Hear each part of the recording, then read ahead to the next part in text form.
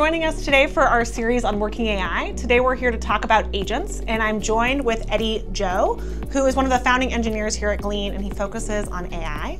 Eddie, thank you so much for joining us. And uh, I'm going to have you start off with a pretty simple first question, which is what are agents? Sure, it's a great question. Um, it's not that simple, but uh, you know, I would define an agent as basically a system that can interface with external systems. So it can call upon those other systems to answer information, search things, but it can also interface with other systems to write out into the world or take action on behalf of the user that called that agent. So with the advancements in reasoning with LLMs, how do LLMs differ from agents? Most of the agents we think about today are, are powered by LLMs in some way. Agents as a concept has existed for decades, but um, you know these these reasoning capabilities, the increase in reasoning capabilities of LLMs, have made a lot of different kinds of agents more possible. But agents still need to be aware of how to interface with the tools that they the, systems outside of their their sort of core engine. And so simply improving um, LLMs along the reasoning dimension may not be sufficient to, to make agents successful, especially in the enterprise setting. Uh, a lot of it comes down to data and to sort of a data distribution between what these models are trained on and then how they're used. So it sounds like the data distribution in enterprises looks very different than public data sets. And that's specific specifically to agents in enterprise. You also brought up tools or, or, other knowledge of external systems. So if I just fed an LLM access to different tools, would that be sufficient to create an agent? Yeah, you know, I think it, you know that would get us a lot further than we could have been, um, you know, a few months ago. To keep myself honest on this idea that you know LLMs know how to use tools, um, but they need that sort of enterprise awareness to do that. You might have a tool that looks similar. You say internally, you know, you have an internal search tool. Externally, you know, a search tool, a search engine, they're generally used in a similar way, right? And so, you know, that LLM that's powering that agent may understand how to generally use search tools, right? It knows you can write a query, maybe you can use advanced operators. It kind of knows the rough behavior of how to write that query and what comes back. But the reality is, a lot of that query writing, as, as this example, is specific to how a company does work, right? And understanding, you know, hey, if I'm working at Glean, as an example, um, and I'm, I'm trying to solve this, this intent where I'm looking for um, some information about our releases, right? How do I know where that actually might be located, and therefore how do I know how to use the search engine? That's still an enterprise data problem, an enterprise knowledge problem. So uh, even if the, the models are better at calling tools, knowing you know exactly which tool to use in what situation, um, how to chain different tools together, or the nuances of how to use those tools specifically, you know, in each differently for each company, uh, is still a persistent problem that needs to be solved. When I think about tools, tool is something like being able to run search, like you just said. But if I think about you know a workflow in the enterprise, it's usually this stitching together of multiple tools. And I'm curious, as you think about agents, how are they able to be able to build these types of workflows and understand the process knowledge within an organization? Yeah, yeah. You know, so because we've been working in this space for a number of years now, we're, we're kind of understanding how assistance work in the enterprise and, and what kind of queries people issue, both within Glean and the kinds of things they, they do before they issue those queries and, and after, right?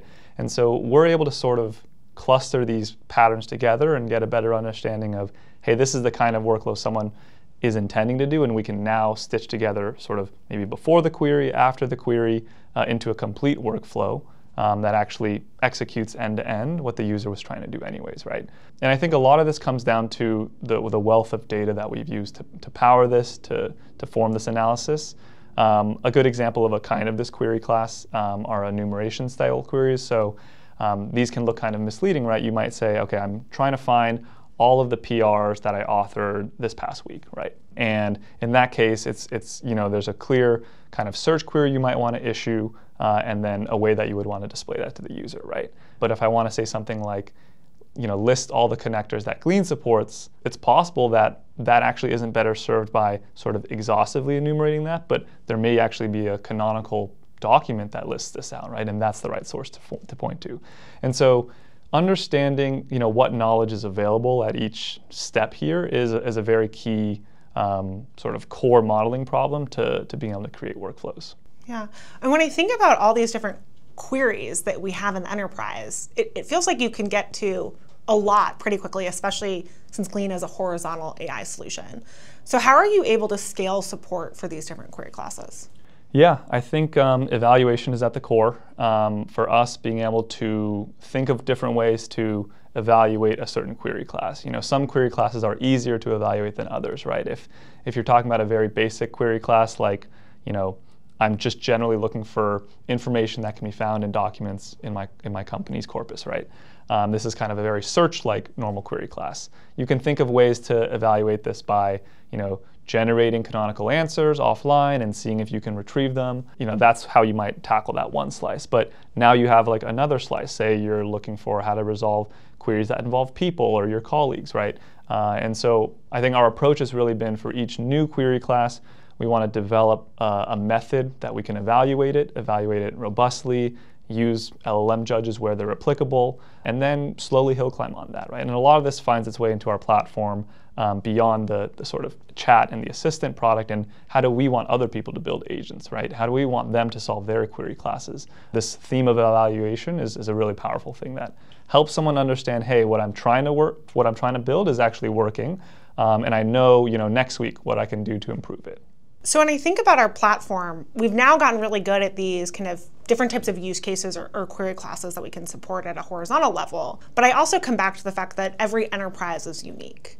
So how are we bringing personalization into play here as we think about scaling agents? Yeah, it's a, it's a really interesting tension. You know, as as we've built these different agents and workflows and this architecture, you know, we come with our own biases. Hey, this is how Glean is organized, so maybe this is how we should, you know, build the system in this way, right?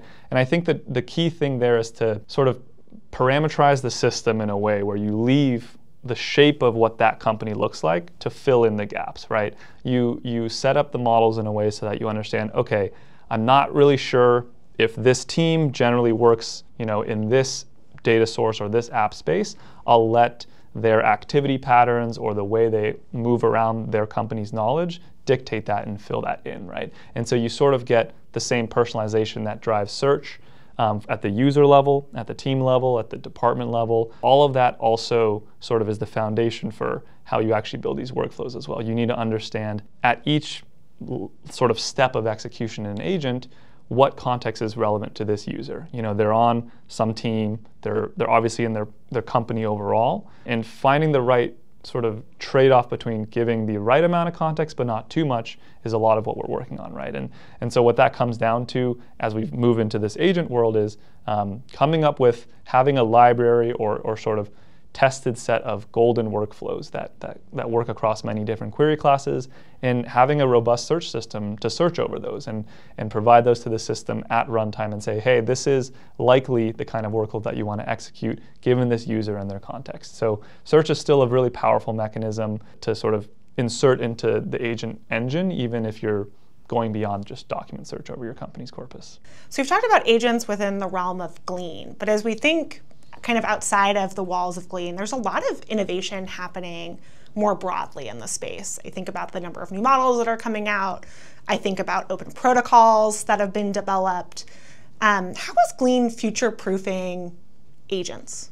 You know, we've been lucky enough to be in a setting where LLMs generally, like when I talk about LLMs, I mean the things powering a lot of these agentic improvements are getting faster, um, they're getting cheaper at the same quality, or they're rising in quality, right? Notably with the reasoning models. And so I think for us, future proofing means building the system in a modular way, um, being LLM agnostic and saying, hey, we need an LLM that's powering this part of the engine to be able to do this at some success rate. And as long as it does, you know, we can always continually drop in new ones. Evaluation is also really core to, to us being able to say this with confidence, right? And we try to not really sort of work on or solve problems that are really fixed or fit to one model, right? If we note this is one model's behavior, that might be okay if we can solve a problem that we know is going to be, you know, really meaningful to all models, right? So I would say one very concrete example um, that's relevant for almost any agentic execution is that of context selection. So, you know, deciding what information you're going to put into the prompt that's necessary for this next step, right? That's something that it doesn't matter how much smarter your model gets if you don't give it that context and you know it's it's it's an, if it's enterprise context it has no way to access it then your model's never going to get it right you know and so those are the problems we care a lot about problems that even if the models become really, really intelligent, we know that they still won't be able to do this. As, as compared to, oh, you know, this model can, can most, most of the time do this thing. Uh, it can most of the time reason over this text, whereas this other model can't. And so, should we continue trying to make that easier for it? We, we try to spend our time focused on, on other kind of problems. And that allows us to sort of build our technology in a way that's future proof so that as these new models come in, we can sort of benefit and all of our users benefit from, from them getting better and better. Very interesting. This this conversation in general just reminded me how core search is into agentic systems because if you're not giving agents the right information, then they're going to go off and take autonomous actions and that has a big downstream effect versus in you know assistant land which is what we've been operating with for the most part there's kind of a human always giving that check right um, and so now i feel like actually we've elevated the importance of search mm-hmm. with within agents, which is really really yeah yeah. The the way I, I would kind of tie it all together is it's a precision and a recall problem. So you know if you don't recall the right tool to put in or the right context, then your agent can go down the wrong path entirely, right? At the same time, it's still a precision problem. You can't throw all of the tools out there, and I think people are starting to realize it now. You can't just jam every available tool into you know the the prompt for the LLM to operate on. It's not going to know what to do with that, right? And so you kind of have to navigate that trade-off as ML you know engineers and practitioners know they've been navigating that trade-off for a while. Um, how to sort of blend these two things together, right? And that's that's a lot of the problem space that that we're focused on. Thank you so much for joining me today. I really appreciate it. And for those of you listening in, um, we just released an agent's white paper where we go in depth on some of the topics that we discussed today. And if you liked this conversation, um, you can join Eddie at Glean Go, our user conference happening on May 20th, for his talk on the anatomy of agents thanks so much. Thank you, Eddie. Really appreciate you joining today. Yeah, happy to be here.